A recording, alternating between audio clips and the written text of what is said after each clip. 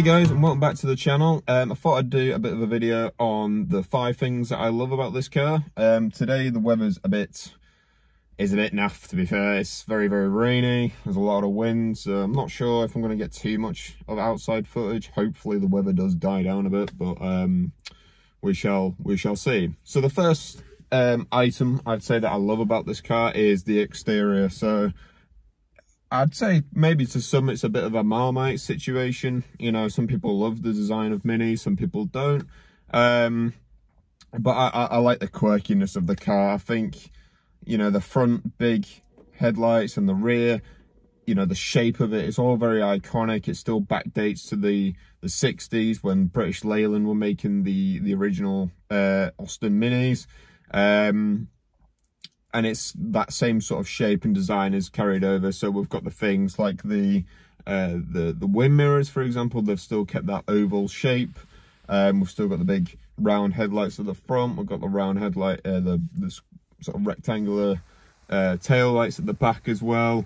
Um, the ground clearance as well is always sort of relatively kept the same. Um, and we've still got that sort of squarish design inside the cabin um, as well. Um, so I'd say love it or hate it, it's one of those types of things. I'd say for me personally, I love the big tailpipes at the back. Um, whether it being a JCW there an, or an S, for example, they, they both have the tail lights, the, the exhaust tips in the middle.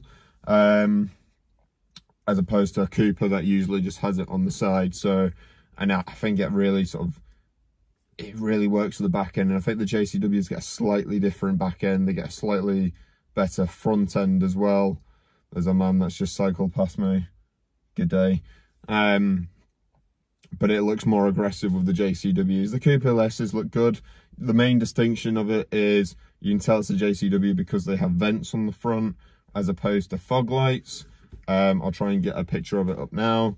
Um, but yeah, I think the, the, the actual aggression of this car really makes it look good, um, and which is a, is one of the reasons that I love it.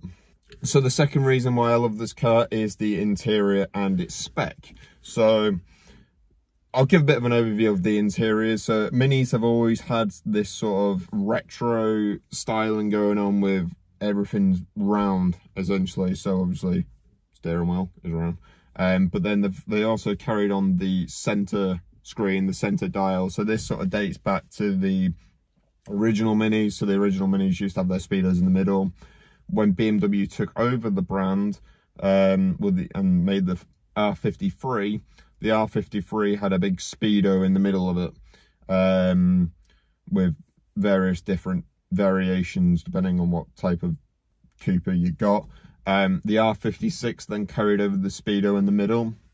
Um, but when it came to the F56, which is what this version is, and even the LCI models, they thought, well, it is good having the speed dial in the middle, but for driver focus, you want it in the middle, like in your direct view. So they did change it up. Um, and they replaced it with, with, well, with this one, it's got the ProNav system in it. So if you didn't, uh, if you didn't spec that, you would just get like a normal sort of weird radio looking thing. It didn't look that great. Um, the next step up is obviously the nav. The nav, well, the nav screen doesn't always have the nav in it, which is a bit weird, but it's a slightly smaller screen than if you get the Pro nav, you get the, the larger screen. And I love that about this car. I love the spec of this car. The seats themselves are very hugging. This is the Mini Yours lounge leather seats, I believe, um, with the black on black. You can get them in variations. The the the saddle brown with the white piping is just oh chef's kiss. Um, but other than that, like the seats are very comfortable. They're very good for long journeys. Um, I also love the fact that this car did come very well spec when I did buy it. Um, I was very fortunate in that area. So this car has Harman Kardon all around. The stereo system is magnifique. Um, it's also got LED lighting throughout the cabin. This, again, was another optional extra. Like I said, the ProNav, I've got that screen in there as well. I've got heated seats, um, which with most BMW products, you they're very rare to find sometimes. You have to spend the money to get them. So that's very fortunate. And it's also got a dual zone active climate, climate control as well, which to be fair, I wasn't too bothered about normal sort of AC, but the fact that I can have 20 degrees on this side and 18 degrees on that side um, is really helpful.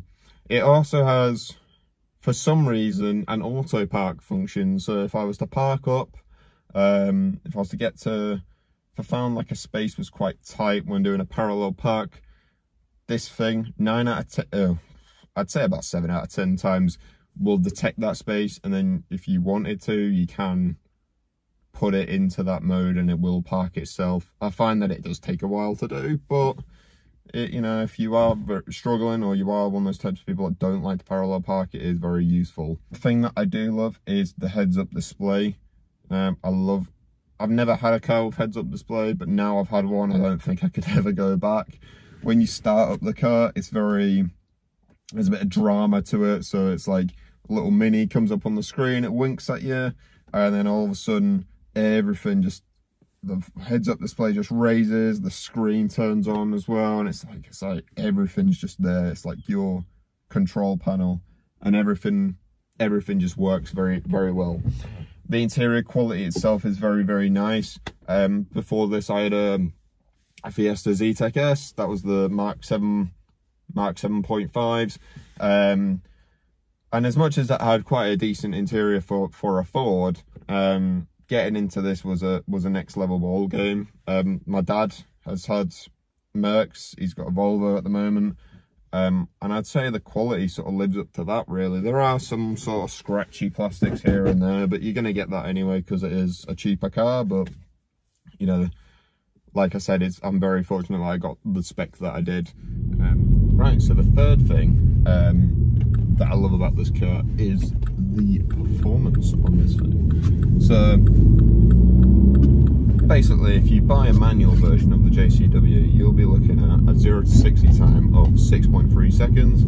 They have 230 brake out the box. And if you do decide that you want to remap it, you can get these up to between sort of 280 and 300 brake. If you go for the autos, um, you might have a bit of trouble when you come to remapping the car.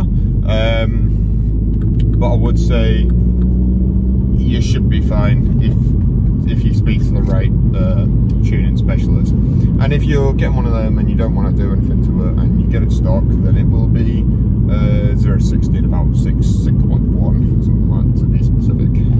Uh, as soon as you pop this into sport mode, ignore the cold in the back. They're sloshing about everywhere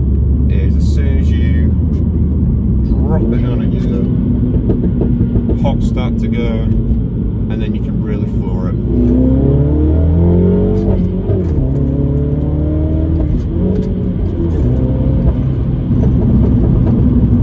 Ignore the cocked up gear, but here we are.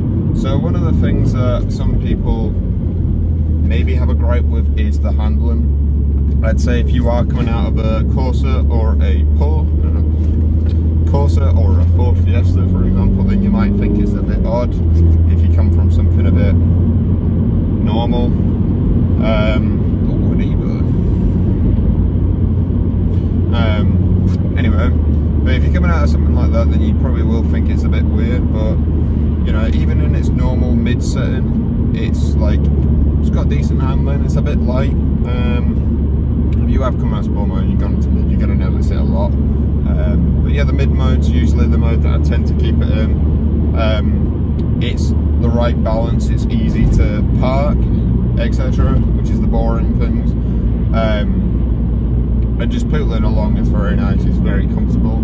If you pop it into green mode, it gets a little bit quieter. I notice when you are at 70 miles an hour, it does burble a little bit, which is quite cool, I'd say. Um, but the good thing about putting it into green mode is it tells you which gear you need to be in um, to save fuel, if you want to save fuel. Um, but it is very limp, I'd say. If you are trying to overtake someone, you are going to have to keep swapping in between modes. But overall, as a package, this car is very good. But if I pop it back into sport mode, you feel like everything sort of tensens up. So if I sit, I'm going around roundabout at the moment, uh, which isn't the best way to test your handling. But hey ho. But it grips, it grips, it grips. It can lose the front. Um, that's probably not helpful with the tune and the tyres that I've got. Um, which is a factor I'll bring up in another video about what I don't like about this, type, this car, which is the tyres. If you've still got run flats on, you'll know. Um, it is quite loose. But if you are going to switch to anything, it's a fake JCW. Um, if you are going to switch your tyres, Pilot Sport 4s are generally the tyre of choice for most people that goes in. Um, unfortunately, I'm stuck behind a Peugeot right now. Let's see if can get around them. Peugeot drivers. Um, yep. But yeah, sport mode, sport mode, and it grips. It just grips. Ugh, making myself sick here. It goes round, it goes round, it goes round, it goes round.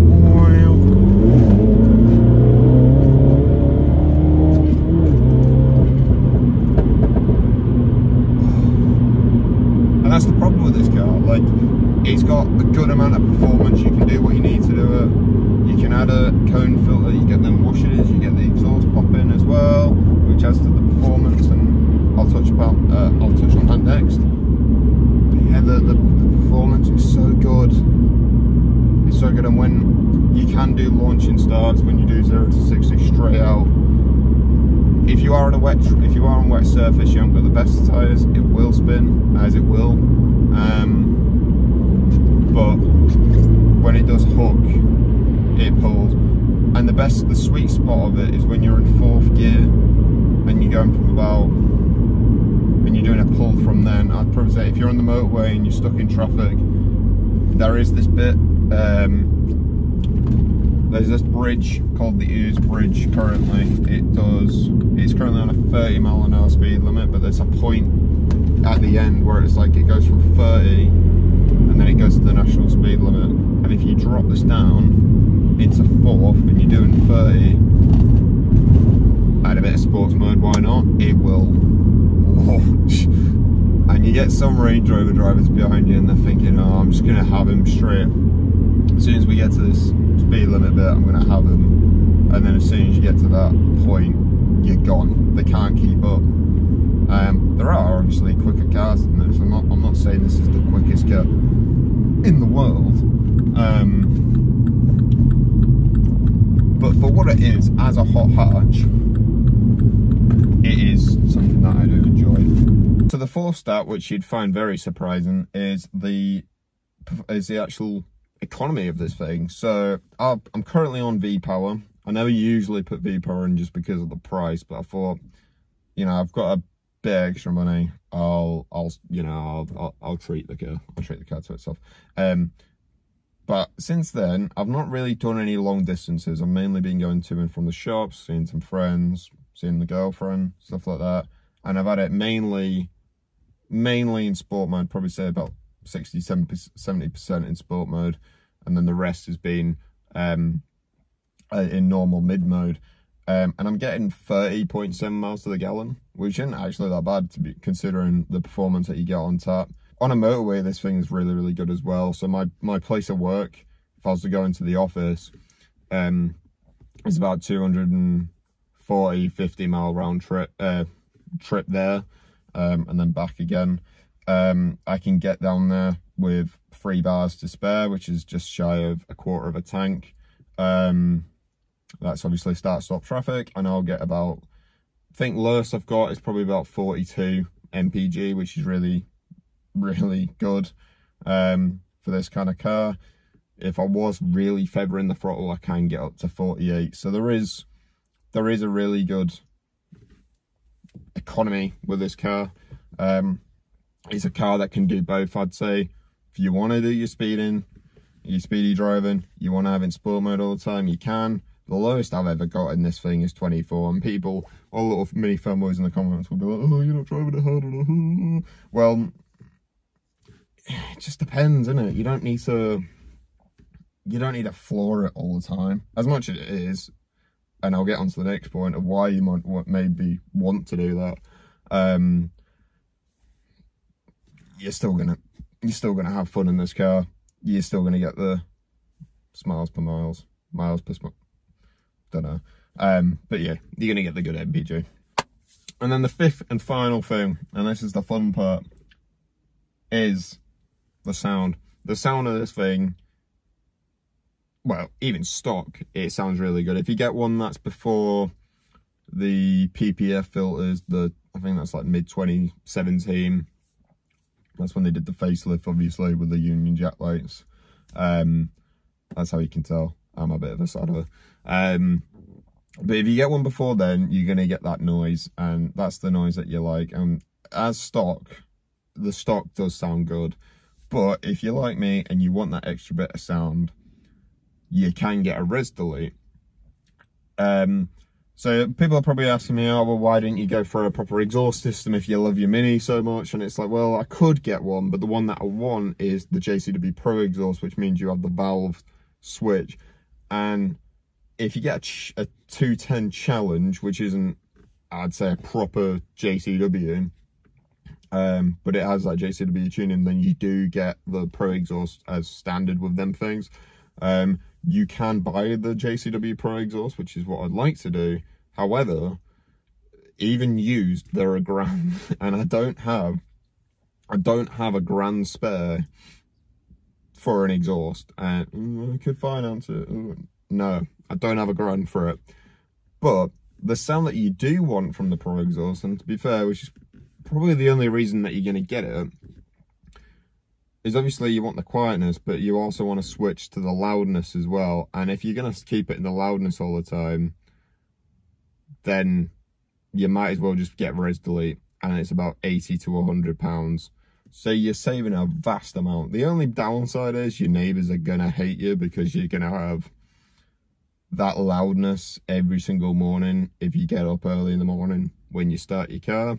Sometimes it will surprise you and it doesn't go into the cold start mode and then it really throws you off and it's like, what's wrong? But everything's fine. Um, but yeah, if you, if you pay the 80 to 100 pounds, you're going to get that loud sound all the time anyway. Um, you know, and you're going to save yourself a fortune for other mods that you want to buy.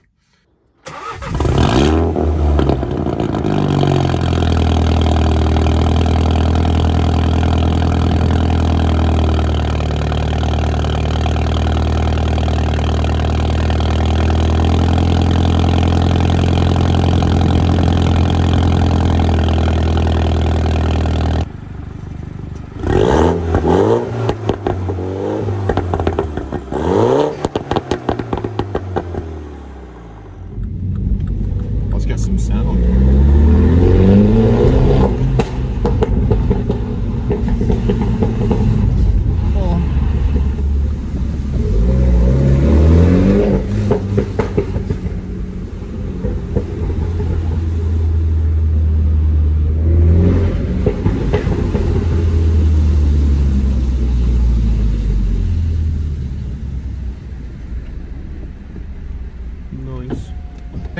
meantime, I hope you enjoyed that video, that short video. Um, I'll try and get another one out later. I'm actually off to Cadwell next week um, at Modified Live. So, so if you are there and you are a fan of the channel, please come up and say hi.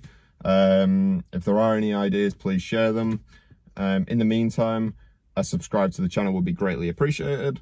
Um, please like and follow. Unfortunately, I have given in to the to the TikTok idea um, so I'm starting to put some stuff out on there. It's the same handle as my Instagram, which is at Josh in Cars. Um, but yeah, until next time, see you then.